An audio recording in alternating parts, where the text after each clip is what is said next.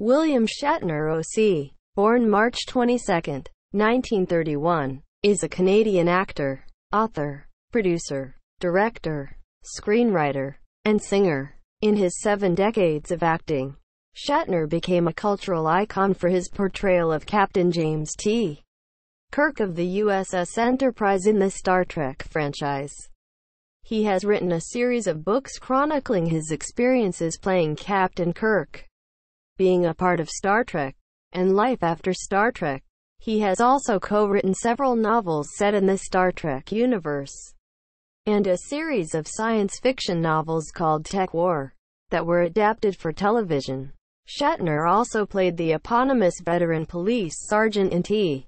J. Hooker, 1982-1986, and hosted the reality-based television series Rescue 911, 1989-1996, which won a People's Choice Award for the favorite new TV dramatic series.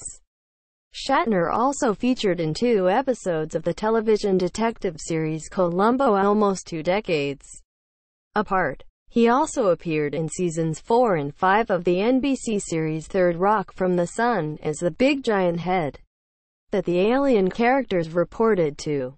From 2004 until 2008, he starred as attorney Denny Crane both in the final season of the legal drama The Practice and in its spin-off series Boston Legal, a role that earned him two Emmy Awards.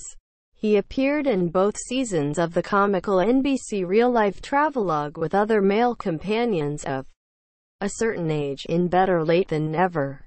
From 2016 to 2018, Shatner has also pursued a career in music and spoken word recording since the late 1960s, having released eight albums.